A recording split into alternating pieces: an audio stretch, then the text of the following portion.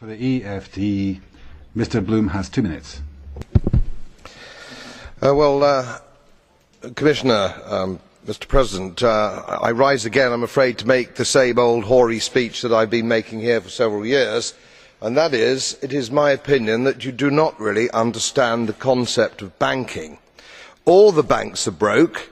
Uh, Bank Santander, Deutsche Bank, Royal Bank of Scotland, they're all broke. And why are they broke? It isn't an act of God. It isn't some sort of tsunami they are broke because we have a system called fractional reserve banking which means that banks can lend money that they do not actually have.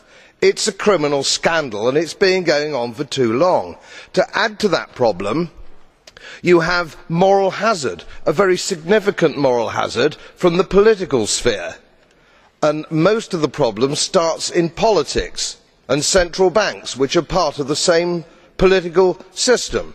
We have counterfeiting sometimes called quantitative easing but counterfeiting by any other name. The artificial printing of money which if any ordinary person did they would go to prison for a very long time.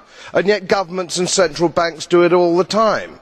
Central banks repress the amount of interest that rates are so we do not have the real cost of money and yet we blame the real retail banks for manipulating libor the sheer effrontery of this is quite astonishing. it is central banks it's central banks that manipulate interest rates commissioner and plus underneath all this we talk loosely in a rather cavalier fashion do we not about deposit guarantees.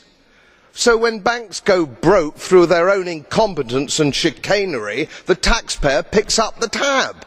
it is theft from the taxpayer and until we start sending bankers and i include central bankers and politicians to prison for this outrage it will continue.